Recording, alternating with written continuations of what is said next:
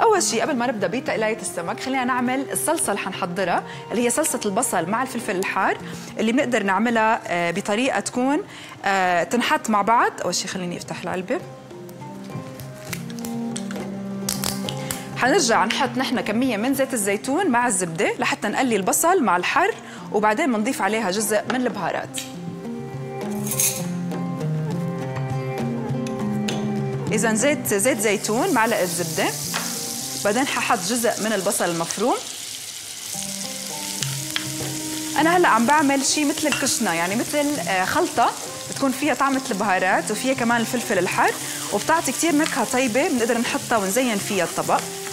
في شغلة عن هذا الوصفة أو وصفة المطبق إنه في ناس بتزيد عليه كمان لهي الكشنة نفسها أو تتبيلة البصل بتزيد عليها حمص مسلوق. خلينا نقول إنه الحمص اختياري فينا نضيفه أو فينا نستغني عنه.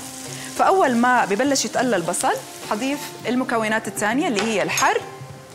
في عنا هون الفلفل الأحمر الحر. بنضيف شوي من الفلفل الأخضر الحر.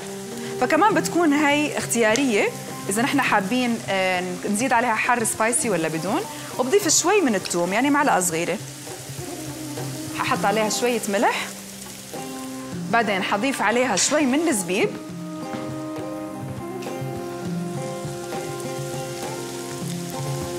هيك كمية يعني حتى تتقلى كلها مع بعضها.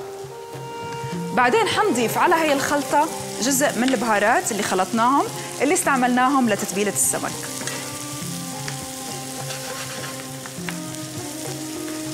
بلشت هيك ريحة الحر الموجودة مع البصل مع الزبيب والتتبيلة كلها هيك تتسبك مع بعضها. هاي طبعا بتاخذ هيك حوالي 10 دقائق على النار. حضيف عليها من البهارات الخلطة اللي موجودة عندنا اللي قلنا مثل ما اتفقنا هاي الخلطة نفسها حنستعمل منها التلت للسمك التلت للتتبيلة هاي اللي عم نعملها والتلت كمان من البهارات لخلطة الرز. فحضيف تقريبا هيك معلقتين. وهلأ بتركهم لحتى يتهدوا مع بعض. صارت عندي هون البصل مع الحر مع الزبيب مع مع الطعمات هي كلها الطيبة ومع البهارات هيك أخذنا النكهة مركزة. حتضل هي الوصفة على نار هادية لحتى هيك تتسبك على مهلها وتاخذ كل الطعمات من البصل من مية البصل الموجودة.